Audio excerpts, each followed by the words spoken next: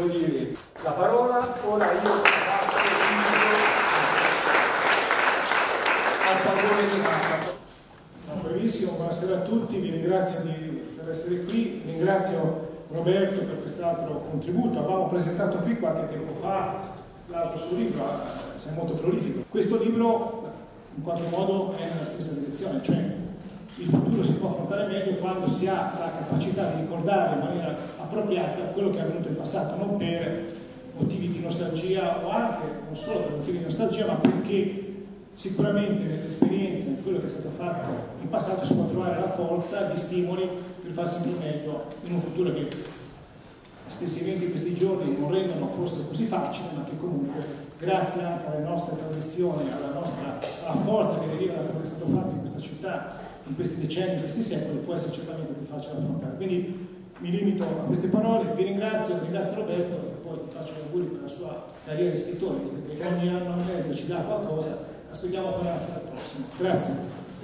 Eh, me lo sono oltretutto letto in meno di una settimana, quindi questo sta a significare che oltretutto è una lettura molto piacevole, una lettura che scorre via molto bene, è una lettura che interessa. Roberto Morrocchi scrivendo la storia di tanti personaggi in questo volume tutto in bianco e nero che io vi ho dato un po' di colore con dei post-it ma state tranquilli non è che tutti i post-it hanno un riferimento oggi altrimenti la partita neanche il secondo tempo andremo a vedere. Ecco eh, è riuscito a raccontare uno spaccato di vita senese e questo è molto importante. Eh, oltretutto l'ha fatto in una maniera eh, un po' particolare pagina 220 ascoltate che cosa racconta Roberto Morrocchi di questo. Eh? Allora, io e mio babbo avevamo assistito alla prova da una terrazza proprio sopra i materassi. Quando scendemmo per entrare in contrada, trovammo tristezza seduto sul gradino del portone. Non mi sono fatto niente, non mi sono fatto niente e non sono potuto salire sull'ambulanza. Cioè tutto questo lo raccontava al babbo di Loretto e a Loretto. Immagino fosse giovanissimo, 13 anni. 13 anni non sono voluto salire sull'ambulanza, ma nessuno è venuto a prendermi, vi rendete conto, oggi sarebbe impensabile, no? Un fantino che casca a San Martino e nessuno lo va a prendere. So. O, o, per salvarlo per picchiarlo comunque ci vai a prendere. Avevamo, fu così che mio babbo, dopo essersi guardato un po' intorno, lo vedo, eh, questo uomo che si guarda attorno, ma che faccio? Lo quanto decise di portare il fantino in contrario avevamo l'auto in via del sole, allora non c'era la serratura, eh, si poteva transitare bene, e non ci restò che mettere il fantino fra di noi, portarlo a piedi all'auto e da lì, passando da Romano, cerchiare strada Massetana e il Giugiolo, arrivavamo a San Marco. Pensate perché il Giugiolo si faceva iniziare. Eh, pensate un po' che dovizia di particolare. Erano andati a prendere, in contrada c'era una certa agitazione, e dovrebbe, era sparito tantino erano andati a prendere il fantino al pronto soccorso del Santa Maria a Piazza del Duomo e non l'avevano trovato. A me mi ha fatto tante questo episodio, scusa, pensavano che fosse scappato e invece l'avevamo portato noi ed io in particolare ero orgoglioso di aver viaggiato con il fantino, anche se lui non aveva spiccicato parola, proprio tristezza, la tristezza anche Allora, di questi aneddoti in questo libro ce ne sono non a decine, a centinaia. E poi il bello di questo libro c'è anche un altro, un altro aspetto. Il bello di questo libro è che non si racconta soltanto e si cita soltanto di 54 personaggi, ma si citano tantissime altre persone che assieme a questi personaggi hanno fatto sì di creare in ogni rione, in ogni contrada, in ogni pezzo di storia di questa città un qualche cosa di veramente molto importante. Qualcuno non te l'ha perdonato prima dicevamo dei fantini, ma qualcuno non te l'ha perdonato, non te l'ha perdonato. E allora ecco che riesce a, a ricavare tra un personaggio e l'altro, tra un aneddoto e l'altro, anche le storie di altre persone, che poi le ritroviamo qui e che hanno contribuito assieme a questi personaggi a fare tante cose belle, tante cose, tante cose preziose per, per questa città, perché sono nominati anche i personaggi. Ecco, i personaggi, ve lo sono segnato, tutto sono 11, di cui tre sindaci, uno ce l'abbiamo qui con noi, che è per Luigi Vicini, Sindaci della della mia vita di, di, di, Ecco, di giornalista. eh, questi, questi personaggi, di, di cui tre sindaci, eh, io ho scoperto tantissime cose che non conoscevo, tantissime cose che non conoscevo e quindi ancora di più questo libro è interessante perché magari molte cose già le sai e ti piace riviverle, ma tanti aneddoti, tante cose io per esempio non le conoscevo, come non sapevo, come non sapevo che il Montagnani, il pittore senese Montagnani, fosse un grandissimo amico di famiglia di Corrocchi, era un grandissimo amico di famiglia, tant'è vero che una sera si trovarono in un ristorante, eh, in Piazza Dipendenza, ristorante di la Piazza Dipendenza, però c'è un altro. Ok. Allora il Montagnani aveva invitato degli ospiti ed erano tutti a sedere a tavola. A un certo punto si alza e va a tavola di Roberto del suo babbo. Bravo, sopra. io Ah, te non c'eri? avevo 11 anni, insomma. Non c'eri? C'ero, c'eri perché ti ricordi che a un certo punto il Montagnani ha tirato fuori dalle tasche il pennarello rosso, il pennarello blu, il pennarello nero, la, matita. Perché? Fermo, no, è pazzesco. Cioè, ti ricordi come ha tirato fuori dalle tasche in ordine le matite. E perché aveva tirato fuori le matite? Perché Montagnani andò dal babbo di Roberto e gli disse non ho soldi per pagare ai miei amici. Come si fa? E il suo babbo, il mi fai un quadro? Dov'è il problema? Mi fai il dipinto? Dice che cosa ti dipingo? La piazza del campo. Io veramente faccio i piatti e pasta di torni e gli venivano anche bene. E allora va lì su un cartoncino che viene fornito Rosa. e fa questo schizzo di Piazza del Campo con questa torre non snella di blu pareva una modella che sfilava per la fine è vero? quindi il babbo dei Corrocchi non può pagare la cena però portò a casa questo quadro che viene sempre conservato sa. Bene, l'ultimo aneddoto, chiudo, perché poi guardiamo veramente la partita, è questo. Come inizia Roberto Morrocchi a scrivere? Cioè, chi è che gli mette la penna in mano, oppure una macchina da scrivere con i veti, con i tasti, e comincia a scrivere. Indovinate un po' di è? Don Vittorio Cucci, che gli dice, devi farmi un articolo su chi era? Il torneo, il, Sul torneo. torneo di tennis in Chiedo. Sì, ma un torneo, un torneino, cioè, una roba quasi per ma Perfetto. giocava io, Perfetto, perfetto. Allora il Morrocchi si mette lì, scrive questo articolo, viene un po' più lungo, perché ci stavi, prendendo- perché ci stavi prendendo gusto, Roberto. E la, storia, la nostra storia è un po' simile, perché anche a me Vittorio mi disse, fai l'articolo per giornalino, io facevo per giornalino. Va da Mario Celli, altro personaggio che qui viene raccontato. E Mario Celli vede questo ragazzo, vede questo articolo, "Mm, hai scritto no, eh, vabbè, eh, guarda un po' lei, no, penso che te lo darò, però per la prossima settimana non ce la facciamo. E Borgocchi se ne va via un po' sconsolato, perché insomma ci aveva, ci aveva sperato no, in questa prima pubblicazione, come dargli torto. E poi cosa succede dal barbiere? Ricordo bene, dal barbiere fa un topolino, un almanacco, eccetera, gli capita le pagine del cartellino e vede il suo articolo. E lì nasce la storia di Roberto No, Morrocchi. ma firmato per intero. Filmato per intero, neanche un taglio, neanche un taglio. E lì forse nasce veramente la storia di Roberto Morrocchi, giornalista, di Roberto Morrocchi, scrittore. Io ti devo ringraziare perché sono stato il primo forse a leggere questo libro, l'ho fatto molto ma molto volentieri, vi risparmio tutti questi altri post-it, ma vi garantisco che ci sarebbero da leggere. Ah, questo bisogna che lo faccia. Scusatemi, ma questo bisogna che lo legga. È, per, è dedicato a fantino. Lazzaro Benigni, detto Giove, che insomma per me è stato anche un grande amico.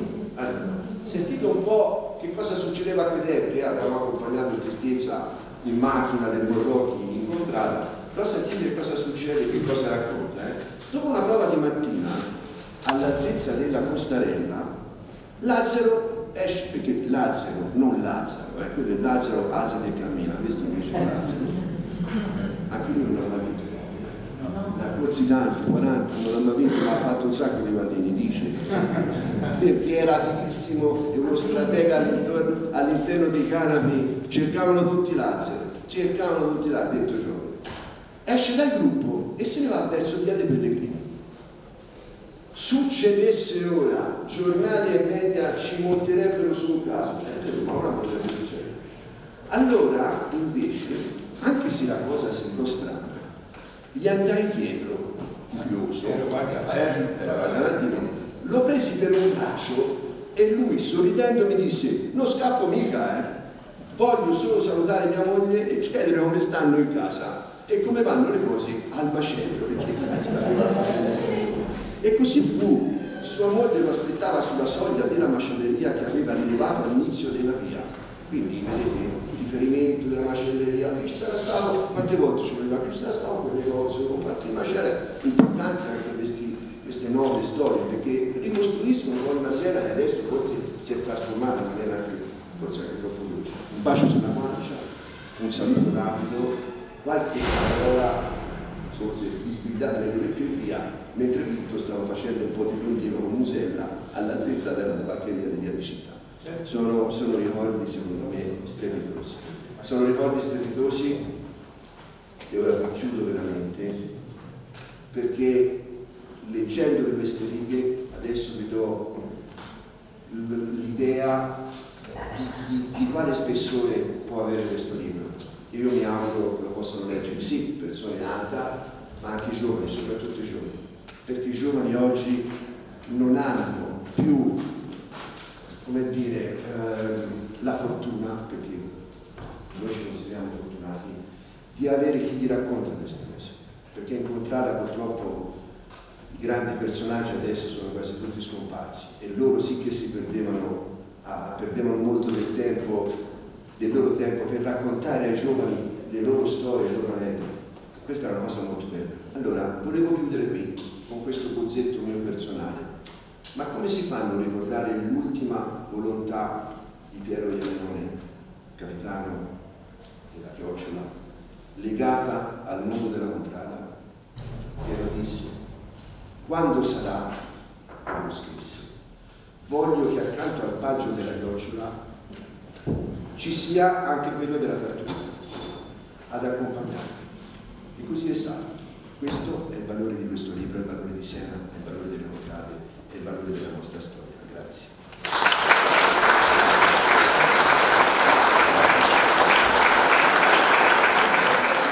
Palio in memoria il libro di Roberto Morrocchi che racconta la storia di 54 personaggi di Siena e dintorni, una fatica tra virgolette che Roberto ha voluto dedicare sia alla sua famiglia perché è giusto che sia così ma all'intera città. No, io questa la dedico alla mia famiglia perché è giusto, ai miei due nipoti, figurati, ma la dedico a tutta la città.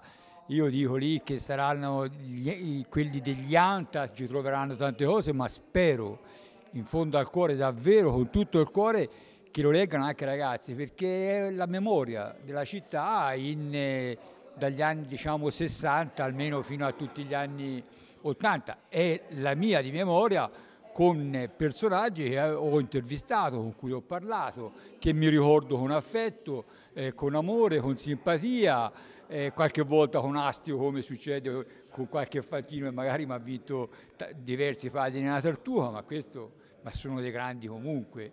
E quindi io questo libro l'ho fatto, l'ho voluto fare, lo dico perché insomma io ho avuto un momento difficile, un momento difficile, poi ognuno nella vita c'era tanti momenti difficili, però io ho detto ma io ho tutta questa roba block notice, appunti, perché non, non, non provare, provare a fare un libro? Mi ha seguito come un'ombra Davide Cantagalli, con il quale avevo raccolto, devo dire, un successo con... Eh, il, eh, la fabbrica, se uno pensa a quello che è successo, vabbè, la fabbrica degli scudetti, e, e ci è venuta l'idea di questo. Il titolo, eh, Palio in memoria, me l'ha dato Maura, eh, la compagna di, di Duccio Balestracci.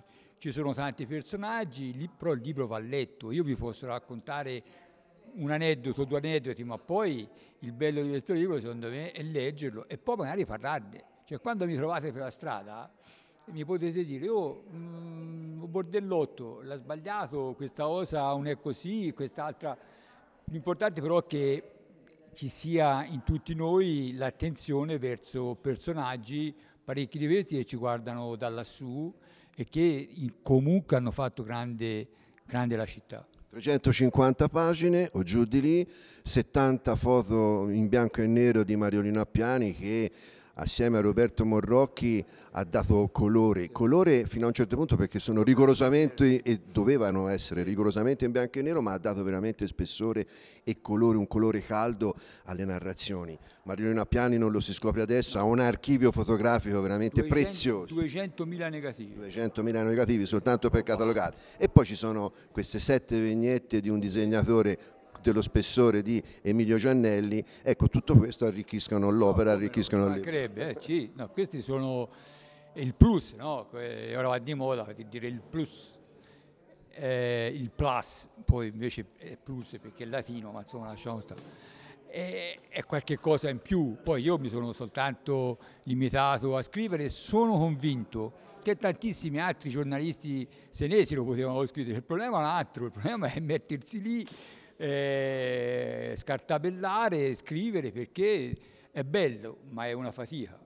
Sì, Vabbè. bella, ma è una fatica. Ma dopo le fatiche c'è sempre tanta soddisfazione, come è stato soddisfacente vedere l'aula magna storica dell'Università di Siena piena nonostante che in questo momento stia andando in onda la partita fra Italia e Spagna, che non sappiamo neanche no, il non lo risultato, con due ospiti d'eccezione, tantissimi anche personaggi raccontati, ma con due ospiti d'eccezione, due signore, anzi due signorine Mrs., sono i due ambasciatori del Regno Unito britannici, uno eh, alla Santa Sede e uno a Roma, che hanno dato veramente Hanno dato spe- eh, hanno dato comprato il libro, hanno voluto la dedica. Perché sono innamorate di Siena, caro E Roberto. io gli ho ecco. scritto da Londra con amore, perché, perché loro si sono innamorati di Siena.